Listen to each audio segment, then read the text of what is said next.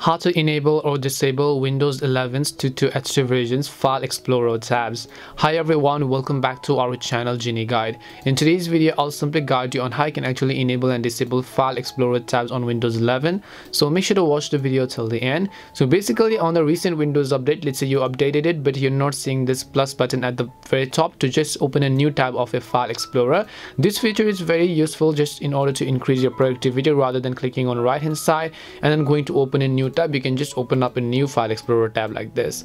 But if you're not being able to find this option then you can actually enable and disable this if you want to. For that just go ahead and then open up your browser and then just type in windows 11 then just type in download ViveTool. So this is basically the tool that you want to download that is vive tool. So you can basically just go ahead and then open it up and then you should be able to find the download link of this specific ViveTool.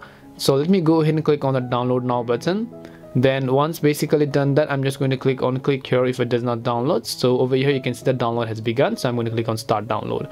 Now i'm going to open its file location. Then you can see this. Then just right click on it.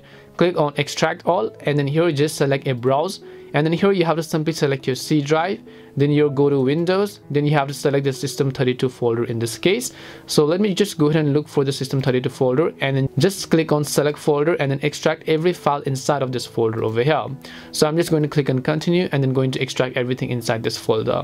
Now if, if it's still disabled then in order to enable it what you have to do is I will make sure to leave these commands down in the description box. There are some command prompt commands. So first of all just search for cmd and then open it as administrator. So right click and then click on run as administrator over here.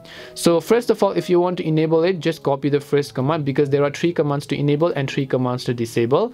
Just copy the first command here and then just come back over here and then you simply want to paste that first command and then now you can see it has been set. Now we're going to copy the second command in this case. So i'm going to just come back here copy it over here to enable it. Now keep in mind I'll just paste it. Then again I'll hit enter then again I'll just go ahead and then simply select the last command over here to enable it. And then again I'll just select and paste it. Then I'll click on OK. And now you can see it has been successfully set.